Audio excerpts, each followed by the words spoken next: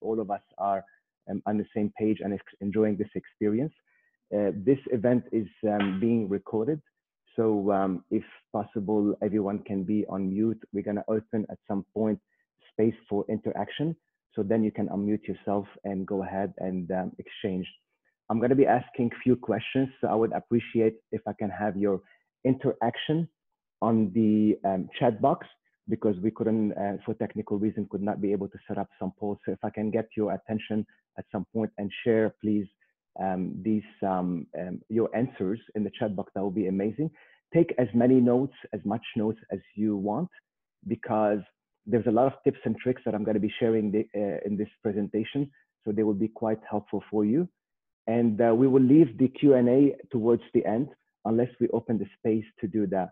And without um, further ado, I'm going to be starting and just enjoy the uh, the experience. Basically, um, I had almost 10 days to work on this um, project and um, to kind of revamp it and um, do a, give it a good feel. And I thought I would spend a few hours per day um, actually preparing myself. So by the time I get to today, I will be able to feeling more comfortable with my time, and there will be no pressure for me to present. That was the target, but the reality is always different, right? I end up cramming all the work that I wanted to do related to this project and to this webinar in the last three days. And um, this is just to say that no one is immune from procrastination. Let's get into some facts and um, statistics about procrastination. In fact, before that, I want to ask you um, the first question here if I can get you to answer in the chat box a number, how much do you feel that you choose your life? How much choice do you have in your life? From one being life is determined completely by external factors and you don't have much control. And 10, you have complete choice over any factor that impact your life. So what would be the number that you would share if I can get you to leave a number in the in the chat box, please?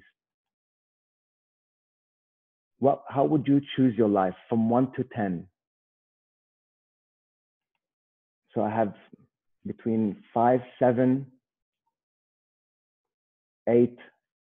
Any more people? We have 18 around in this um, talk today.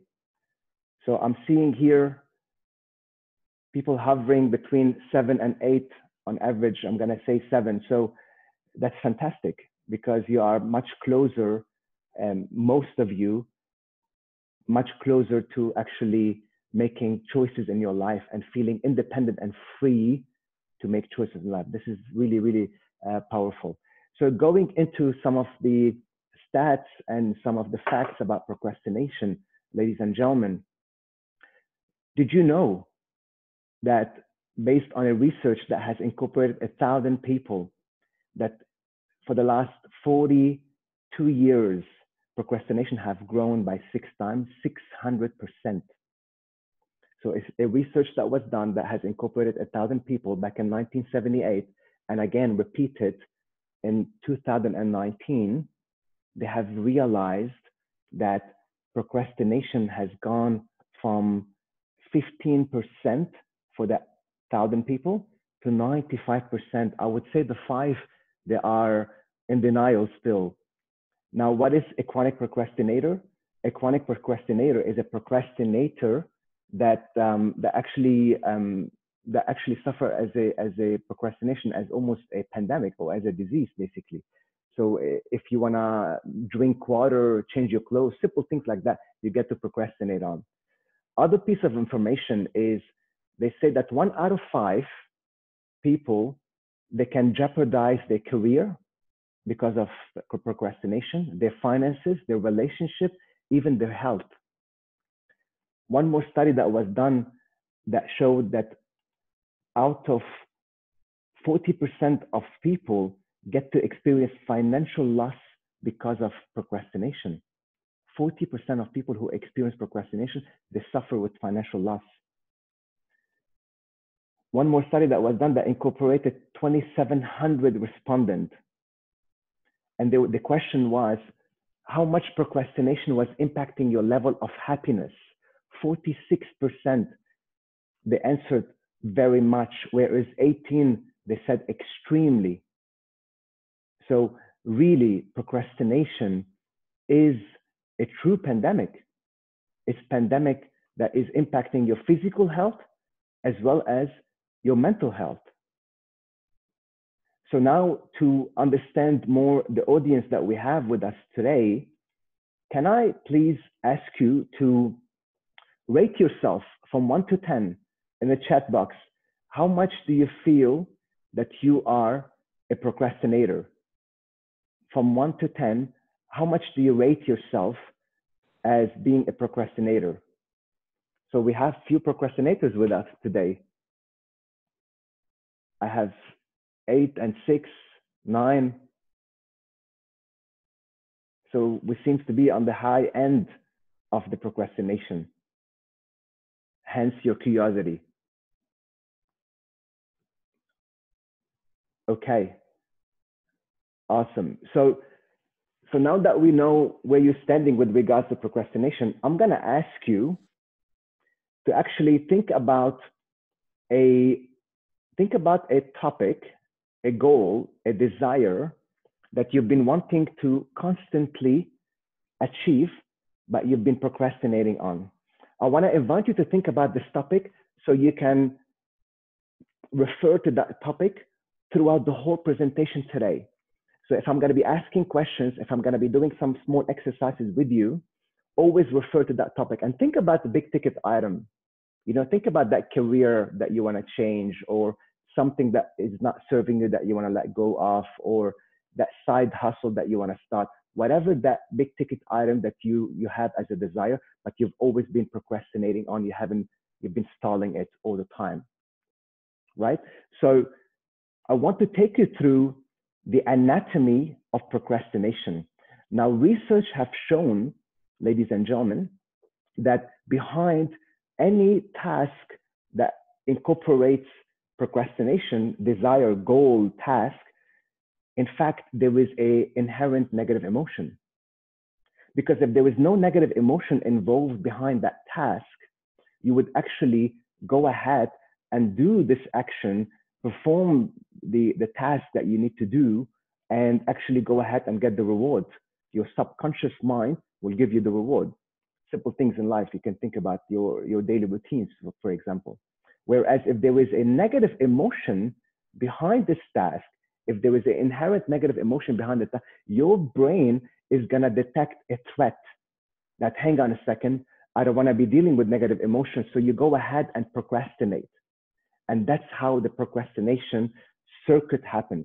When you procrastinate and therefore avoid that negative emotion, automatically your subconscious mind will, will, will give you a positive relief that I didn't have to deal with that negative emotion behind that task. And if you do that on and on again, you will start getting a reward that I'm avoiding to dealing with that emotion. Once the circuit get built, once that circuit get built in your brain, eventually you build a habit. They say neurons that fire together, they wire together. And here we're talking about the anatomy of how the procrastination habit get formed. So throughout the presentation today, I'm going to be sharing with you ways where you can reframe that circuit, where you can interrupt and hack into your brain and reframe your circuit by introducing eventually a offsetting emotion against that negative emotion, so a positive emotion, and an offsetting negative emotion behind that positive emotion of procrastination. So stay tuned and I will go through that as we're going forward. So I'm going to start with the model that I have created to overcome procrastination. The three pillars are to clarify or unpack, to reframe your mind, and to elevate and progress, obviously. So starting with the first step, which is clarifying or unpacking. What do I mean by unpacking? They say I'm going to be sharing with you this slide, and this is coming from a previous webinar that I've done. By all means, you can use your phone camera to scan this barcode that will take you to that webinar, in fact, so you can watch it at your ease later. But all of us, all of you out there, you live in a comfortable place in your life. And then comes a desire. You know, the side hustle that we just mentioned earlier, or something that you want to let go of that doesn't serve you, but you have to, you have been always kind of um, pushing it away. And the reason you have been avoiding it is depends on how much risk there is incorporated with this desire, with achieving this task or desire, you might be confronted with fear. And when the stakes are high, when the level of risk is quite high, then you will be more, in most cases, defaulting back to your comfortable place. When you default back to your comfortable place, that creates the circuit that we were talking about earlier. But eventually, ladies and gentlemen, that will create anxiety, that will create some mental challenges that you would potentially come across if you keep on pushing away that desire from you. That desire, I always give the analogy of a flame. So imagine there is a flame inside of you which represent that desire, but it has been flickering all the time. Therefore, the burning sensation is not strong enough. But eventually, with time, and I've seen this in many, many, many cases, eventually, with time, ladies and gentlemen, that flame flickering will start stabilizing. So the, therefore, the burning sensation will become stronger. And hence, if you don't cross the line of fear, you will start suffering from uh, mental challenges. And I can speak about that um, firsthand from my experience. So going back to that negative emotion that I mentioned earlier, a very important step right now is I say always that a visible enemy is easier to fight than a hidden one. You want to understand what's underneath that negative emotion. And research have shown that in most cases, there is a fear. There is a fear behind that negative emotion. So if you have that, that desire that you want to achieve, ladies and gentlemen, and you want to understand, in case you go ahead and try to try to start or do this desire or, or, or make the action towards that desire and you fail at that, what is the fear that you are avoiding? What's the fear that you are avoiding? And think, think, think for yourself, where else did that show up in your life? Where else did that show up in your life, ladies and gentlemen? Why is that important? Because you want to know what's behind that negative emotion, as I mentioned, and therefore you need to know how to tackle it, how to off, how to create a positive emotion that would offset that negative emotion, so you would disrupt that circuit of procrastination. Super important step is to identify your saboteur throughout the process. All of you, all of us out there, we have that inner negative voice in our head that keep on telling us you're not good enough. What makes you think you're going to succeed where others have tried and they have failed? You're not worthy of success. What are you doing? You're taking too much risk. Stay in your safe zone. So think about a time in your life where you have experienced similar fear to that fear that you may experience should you fail attempting to, to actually achieve this desire. Where else did that fear show up in your life? And if that fear showed up in your life, what was that inner negative voice in your head telling you? And the key here, which I spend a lot of time with my client, is to identify it and personify it. And I'm going to explain to you why is that important actually. So the next step in the model is to actually break the pattern. So as we said, everything is a brain wiring. All that circuit that we are talking about is based on brain wiring. So to interrupt the pattern, why is it important? Let me explain to you. A research that was conducted by Dr. Alan Watkins, a neuroscientist, have demonstrated that emotion is energy in motion. Emotion lives in your limbic system as part of your subconscious, and it's energy in motion. Now, the awareness of this emotion makes it a feeling. This is when you are changing from your limbic system, from your subconscious to your conscious mind. So, why is that important to know? So, as we said, based on the, um, the hypothesis that we have here, if emotion is energy in motion and the awareness of this emotion makes it a feeling, now what if if you're not aware of that emotion? If you're not aware of that emotion, So then that your experience of that emotion becomes a subjective experience. What does that mean? If you are feeling weak, helpless, um, you know, um, some negative emotion, any kind of negative emotion that you would you potentially experience, fear, that becomes part of your definition because you feel that this is part of who you are. If you're feeling like a victim, if you if the emotion is a victimship, that will be part of your definition. So so you wake up, you go to sleep, you go to work, you do whatever you do. That is who you are. It means that this emotion got you, is in control of you. So why is that? You know, what, what does that mean? It means that you get to put most of the um, most of the obviously reasons behind the way you're feeling to external factors, and eventually, that's how you end up feeling like a victim. That's how you end up feeling like a victim. Now, if we go back to talk about emotion and feeling, did you know that based on that research, they have discovered that all of you out there, all of us, get to experience on average per day 12 emotions. We get to experience on, on average per day 12 emotions, whereas they have discovered a myriad of emotion that you get to pick and choose from and always refer to, should you choose, if you are aware of that. Now, my question to you here, if you can put a number in the chat box, how many emotions do you think this study have discovered? in the in the spectrum of emotion, any emotion that you could think about in the world, how many emotion do you think they have discovered in that um, in that study? Can anyone guess, please? What would be the number that you would put in there? How many emotion do you think that study have actually discovered? Anyone would put a number out there? I have 20. Chantel, thank you. 14 max. Any other guess? Just a wild guess. 35. Right, fair enough. Actually, we're not too close. There is actually out there 34,000 emotion. There are 34,000 emotion out there that you, you get to pick and choose. Now, if we go back to that theory, and we are aware of that emotion, that means that you are experiencing now a feeling.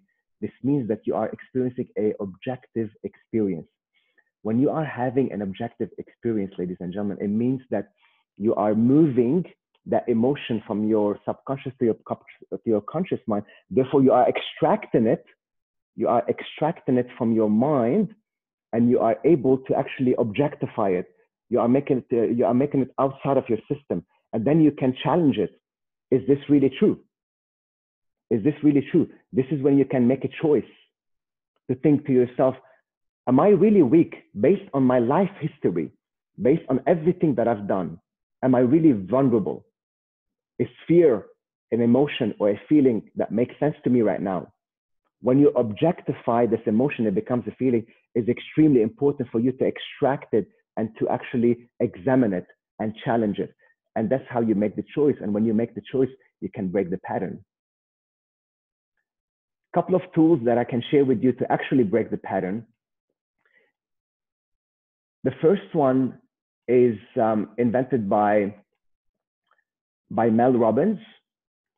And there was a research that was done behind it. It's very simple. It's the five second rule. And all what it is, you count backward from one to five and you, by counting backward, because you, you're not going on auto mode, you have to stop for a split of a second and think. Then you are actually count, you know, you're moving from your, you're, you're moving from your auto system to your consciousness or to your conscious mind. And when you do that, then you can ask yourself the question, how am I feeling? How am I feeling? Why am I feeling so negative? Where is that coming from? And another tool that would complement this one is the um, journaling technique, which I spoke about in another webinar. Should you like to learn more about it, by all means, take your camera on your phone and scan this, scan this barcode. It will take you there. You can watch it at your ease later. Why is it important to journal? The, two, the way I would um, invite the clients to actually journal, the, the ones that I work with, especially if, if you don't have experience in journaling, is two ways. Either you could, if you're doing it on a computer, you could time yourself, put an alarm for 10 minutes, and keep writing nonstop until you get to 10 minutes. The other way is to actually, um, if you have a notepad or, I mean, you know, a notebook, you can start writing until you finish three pages worth of writing. So what happened in that experience? You get to declutter your mind. You get to extract all the noise that is happening in your mind, and that causes clarity and focus for you. And eventually, something will come out of your mind, and you will realize that, hang on a second, I'm feeling like that. Is this true? What's my choices? What do I choose to feel? What's the emotion that I want to experience here? So before I go ahead and continue with my explaining my model, I want to share with you um, the, um, the, some of the testimonials of people who have actually experienced this model of overcoming procrastination and getting to reinvent themselves. So what, what did the method work for them? And what was the most powerful part? And what was the impact on their life? So I'm going to start the video. If can, if you can give me a thumbs up, if you can hear um, the audio. Hi, my name is Phil Myler. I'm an actor, producer, and voice artist. Everyone can hear? Perfect. And I am a procrastinator. Sounds like an AA meeting? Well, that's because all of you guys have been there too, right? All of you here have the same problem I have, maybe not as much as I am. But yeah, you know, if you don't control procrastination, it takes over your life and it makes a big mess of everything. And that's what was happening in my life. And then I met Laurent and I was in a session with him.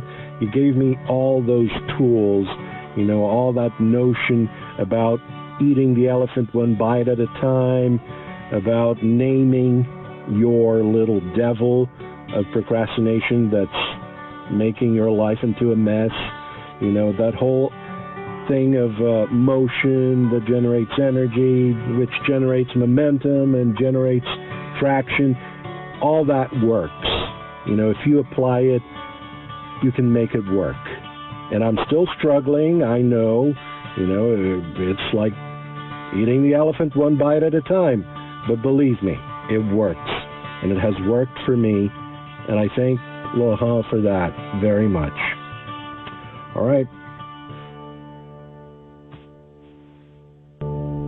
Hi, my name is Lucia Kim, and I teach English and Portuguese for foreigners. And I love what I do, so I consider myself lucky because of that, and also because I was able to attend Laurent's lectures and have a session with him.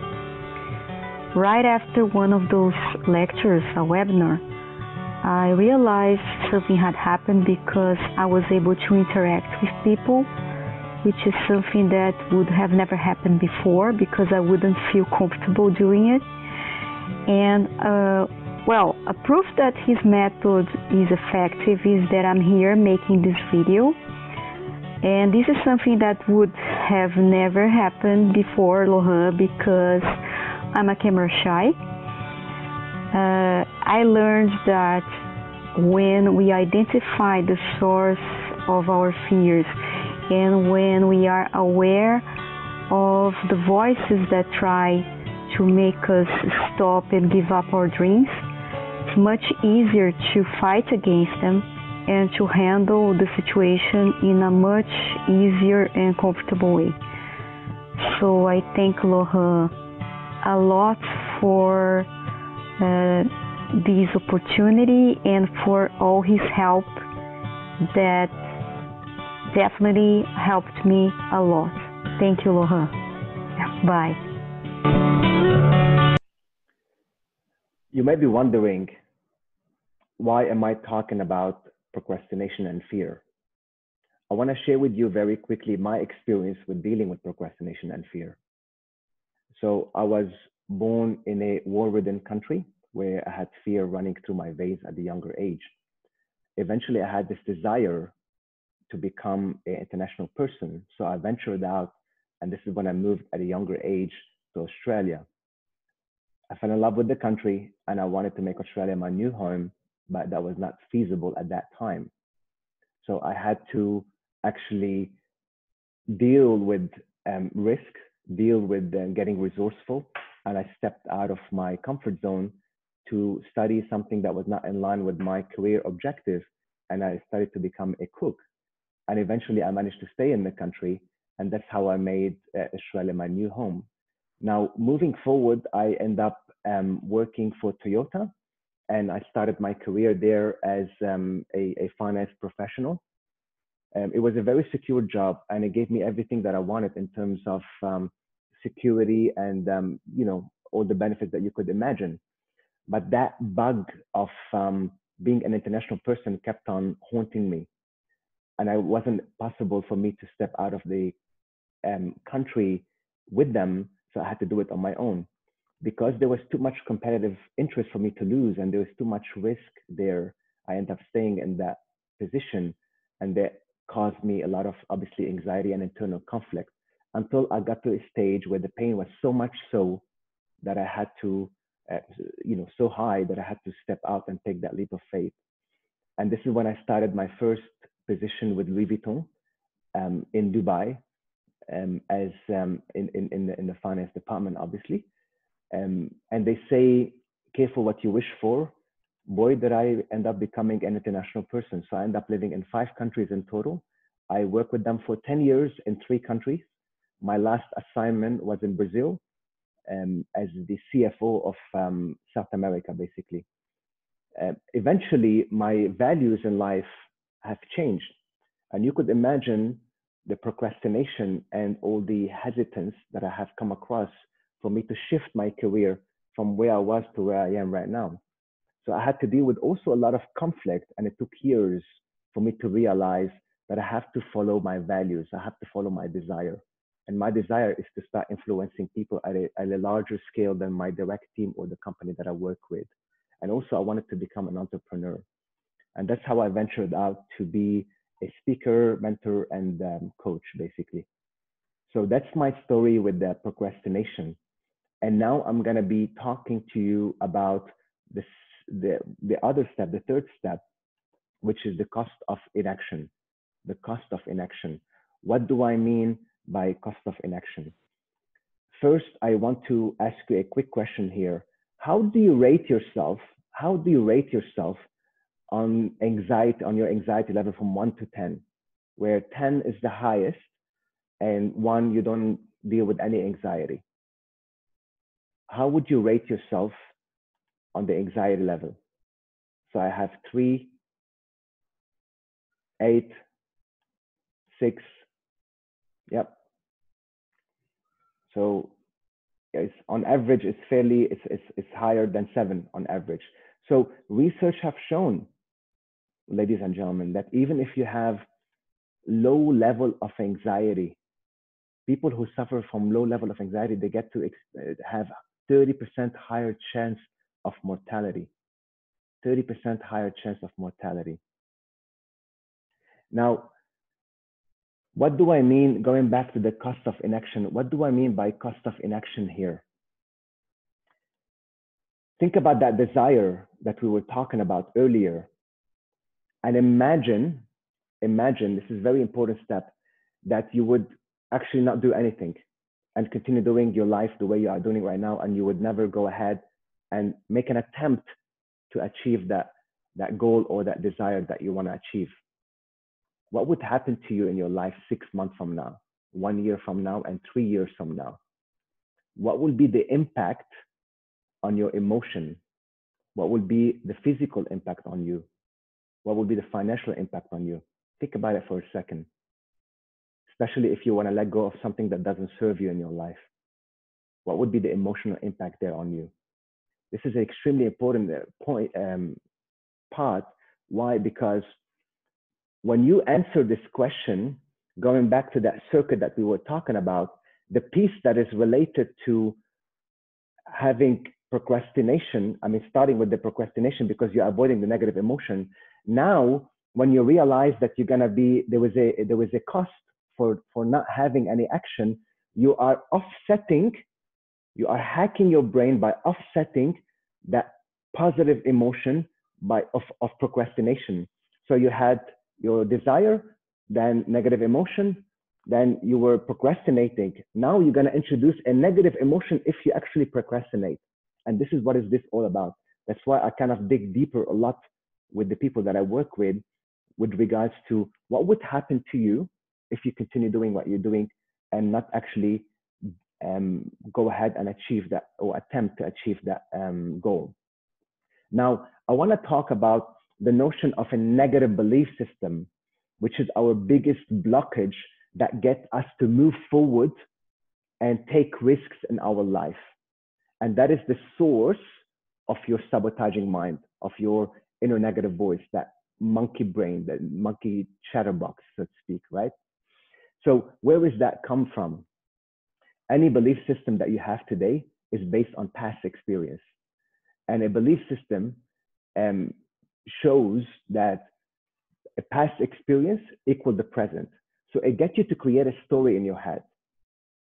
So that story will only be a story unless you live that story in your mind every single day. So that eventually will become your emotional home. So imagine that you are driving on your life journey and you're always looking at the rearview mirror. What's going to happen to you? Eventually, you're going to be crashing. I can speak about the my one of one of my negative belief system to share with you a quick story. One of my negative belief system that I am an imposter, that I am fake. And there was an incident that happened with me at work, in fact, which I will share it with you quickly. When I was working at Toyota, based here in Sydney, on, on day two of every month, we used to have a um, meeting, called it the flash meeting, which explains all the all the all the financial information that happened for the month. Now, I showed up to that meeting today. There was 120 people on a conference call between Sydney, Melbourne, and Nagoya in Japan, which is the head office of Toyota and there was a variance on the stock that I couldn't explain. And I decided to wing it and show up and give some vague explanation. Little did I know that when I actually started explaining and my turn, my turn came to start explaining the variance, the more vague I was, the more I'm getting challenged by everyone in that meeting, even individuals who never actually get involved in, in that sort of meeting they decided to challenge me that day. Did that ever happen to you before? And you knew, you knew you didn't know what you were talking about clearly, but you didn't admit it. You just kept on winging it, so to speak. When my, my when my turn ended and the other cities started presenting, I leaned back on my chair, obviously furious and frustrated. And the first reaction was a very vocal and um, disrespecting reaction towards the people that decided to to to to challenge me and they have never contributed or never got involved in that meeting before until i realized that the microphone was still on so at that point all what i could do is stand up and go for a walk now did you ever experienced that imposter syndrome where you feel that you don't know what you're doing and someone's going to discover that. And even if it's something that is completely explainable, that as in it can be rationalized why you don't know what you're doing, but you take it upon yourself that you are an imposter, you're a fraud. That feeling kept going with me throughout my career. Ironically, I end up becoming a CFO, and I'm still not completely confident about some of the accounting technical matters. But that wasn't the point. The point is that I'm a leader leading a company for a specific region, and, and I need to know how to operate the people who knows what they're doing, so to speak. But I couldn't think about it that way.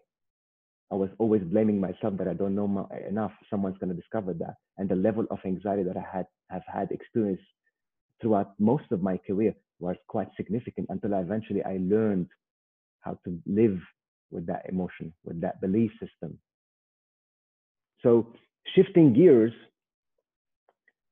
the next steps that I'm gonna talk about them together is obviously the elevate step, which is the value add. the process or the planning, and the action, which all leads to progress, obviously.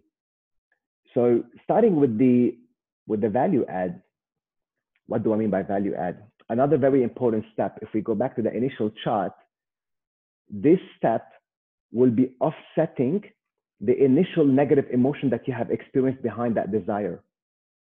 So when you are experiencing that negative emotion that behind that desire, now we are introducing a, a positive experience that what if you would actually even make an attempt to achieve that goal and it would actually go ahead and work and you would succeed at it?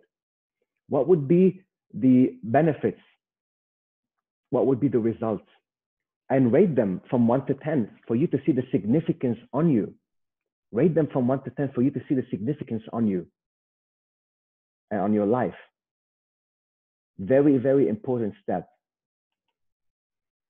And the next thing is for you to break down that big task that you are dealing with. You know, as, as Phil in the video said, I always say that you don't want to be eating a, God forbid, an elephant in one bite. You want to eat the elephant one bite, one small bite at a time.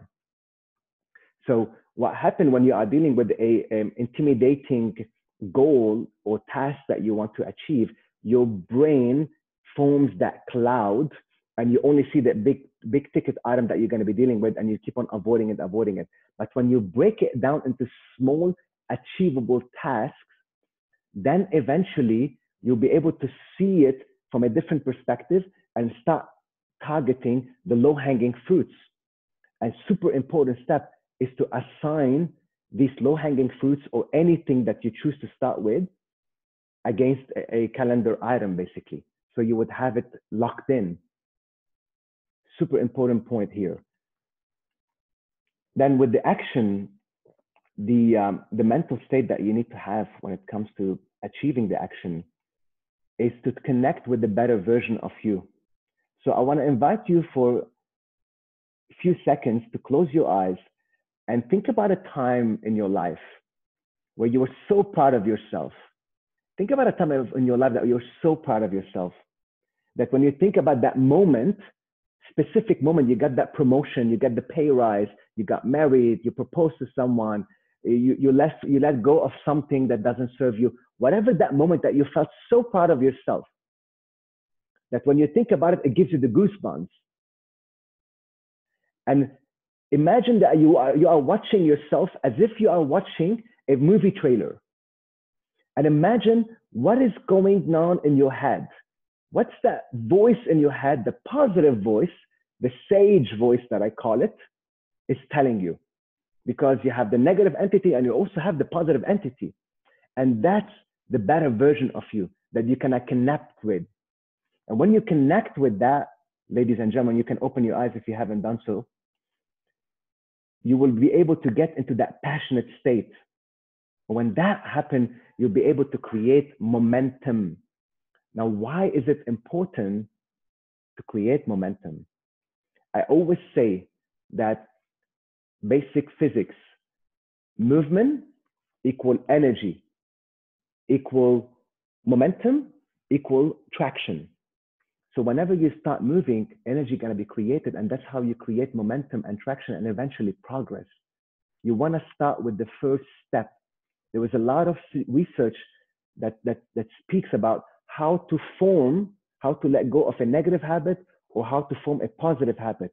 And they all say the same thing. You got to start with the first step. That is why when I was talking about the process or the plan, start with the low hanging fruit. It's the email that you're going to send. It's that, that, that documentary that you're going to watch, whatever it's going to take you for you to start with that step.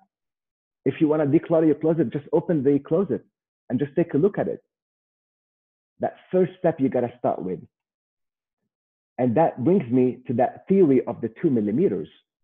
Now, why do I, what do I mean by the theory of two millimeters? Let me quickly share my screen here with the whiteboard so I can explain to you enough. Now you, excuse my drawing uh, abilities, you live here, right? And this is your comfort zone. This is where your comfort zone is, ladies and gentlemen. And at some point in your life, you have a desire that is sitting in here. But to go from here to here to achieve that desire, this is going to stretch you. In fact, is not even sustainable. So based on the cognitive behavioral therapy model, which, which works with predominantly with people who have phobias, if you have a phobia against, you know, stepping outside of your home, the first thing that you would do, you, you go and stand in front of the door, but from, from, inside, from the inside. The next step is to open the door. And the next step is to stand at the door. And then so on and so forth. So what you need to do is you need to make the two millimeter steps, two millimeter steps, two millimeter steps every single day. Have that conversation that you, you are avoiding to have every single day. Go to that workout that you've been avoiding to do, and eventually you will build a new comfort zone. So that will no longer be your comfort zone. This will be your comfort zone. And do you continue doing the same thing two millimeters at a time, ladies and gentlemen. Two millimeters at a time. Maybe that's more than two millimeters, but you got my point. Two millimeters at that time, and eventually you will create another comfort zone. And this desire, this desire become part of your comfort zone. And that is the essence of the work that I do. You don't want to be stretching yourself. You're going to go two millimeters at a time. Now, going back to, excuse me, the presentation here.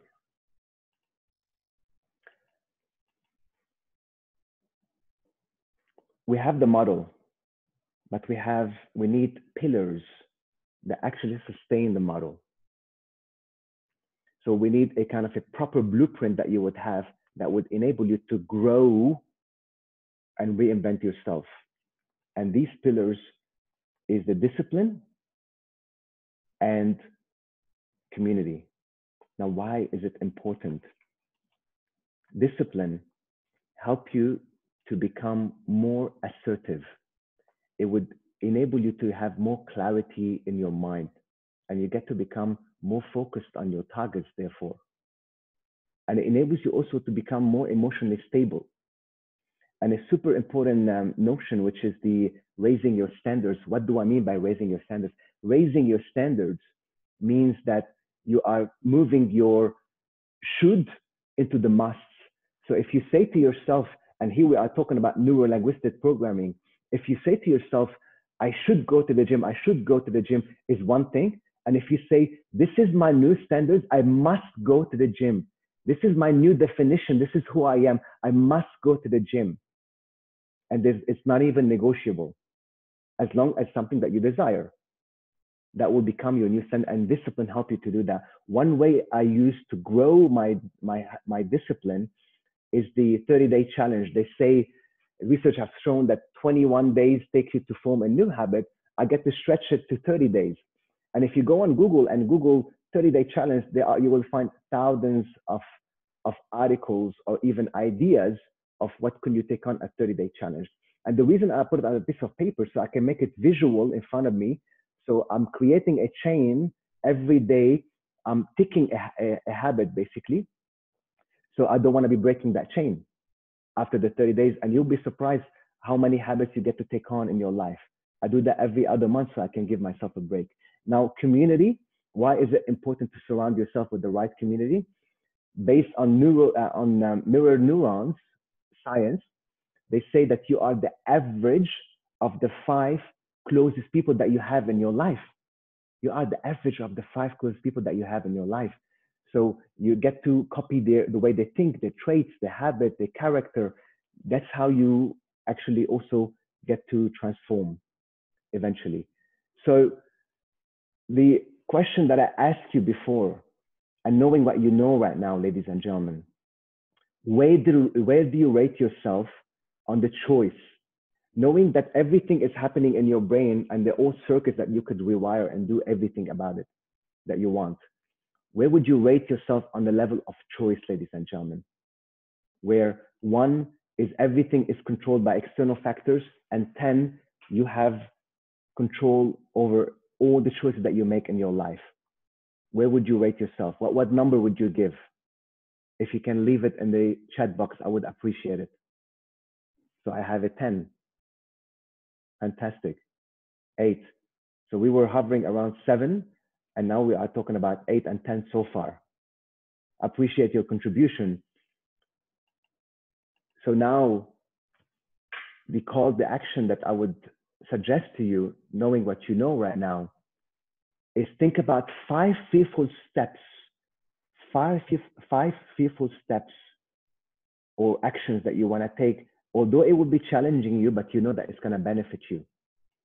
And you want to assign a accountability partner or someone that you know where you could share with that person when can you do that this is all from a spirit of starting the momentum, starting the action, starting the momentum and starting the action, ladies and gentlemen. Eventually, for you to get to the progress.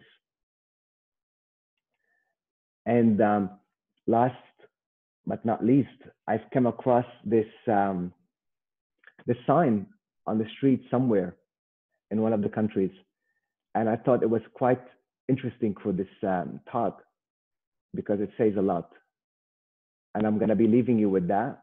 Now, beyond that, I would like to invite you to connect with me. Um, if you want to scan these barcodes using your phone camera to connect with me, or you can look me up using this um, username on all the social media. I get to put a lot of content and a lot of event that I get involved in and I would love to connect with you to share with you a lot of my contacts. Um, I normally give an offer at the end of each my each of my webinars, and the offer that I'm giving for the audience of Laneway here is to continue doing that work and deepen the work. So if you want to really tap into the strategies and the solution and apply it on yourself, and I have seen miracles. In fact, one of the two testimonials is came from one workshop. So I'm inviting you to a workshop that I'm running um, only for five people. So it can be, they can incorporate a lot of intervention as well as coaching during the workshop. It's an hour and a half, and then you will get a coaching session for um, 45 minutes after that. So if you are interested, all what you have to do again is use your phone camera and scan this um, barcode with your phone camera, and that will um, take you to your email, and you just send me an email where, you know, with your interest. And other than that, um, I would like to um, thank you for your patience. And I hope that, um, you know, I've delivered beyond your expectation. That's the intention at least.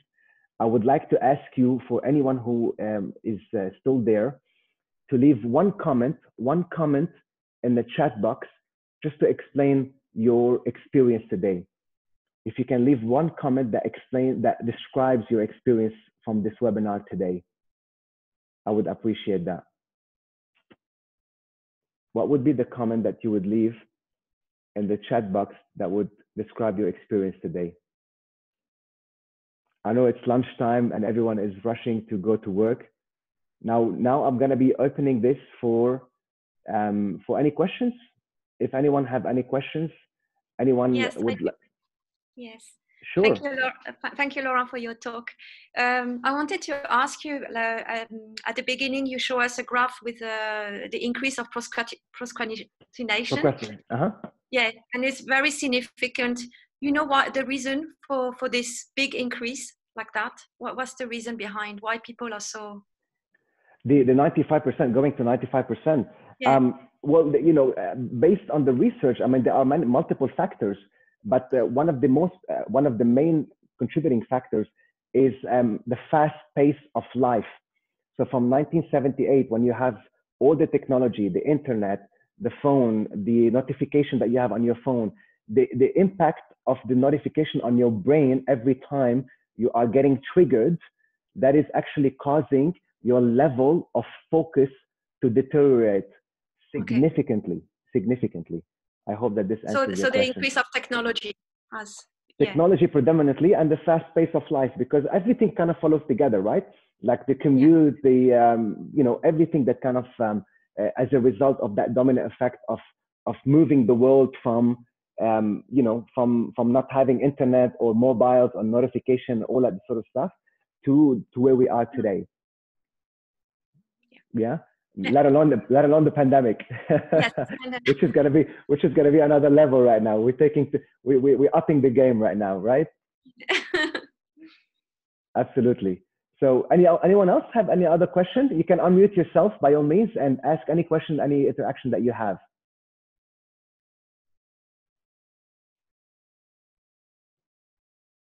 Anyone else? This is your uh, chance if you have if you are interested or you are curious.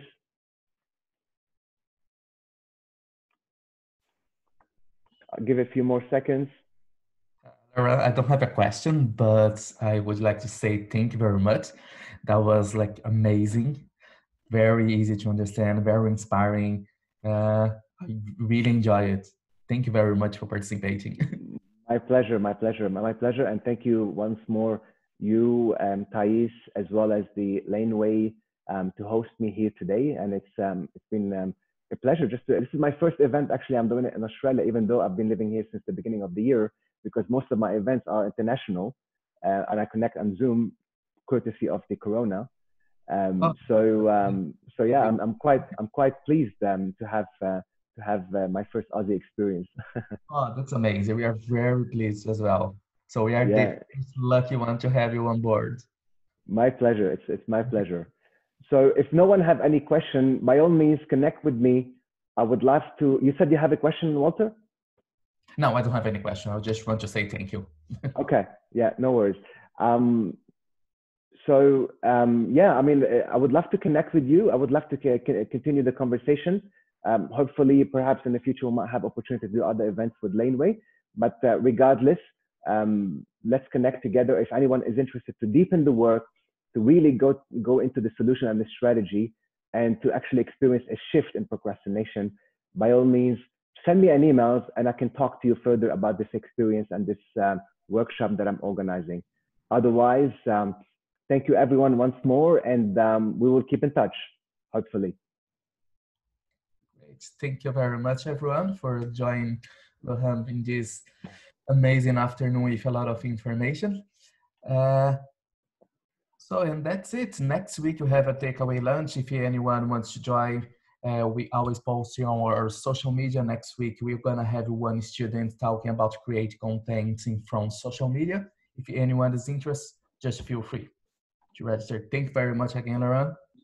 Thank you. Thank you, everyone. Have a great afternoon and the remaining of the uh, week. Um, great, great week. Okay. You Take too. care. Bye. Bye now. Bye. Thank you very much. Bye. Bye bye, everyone.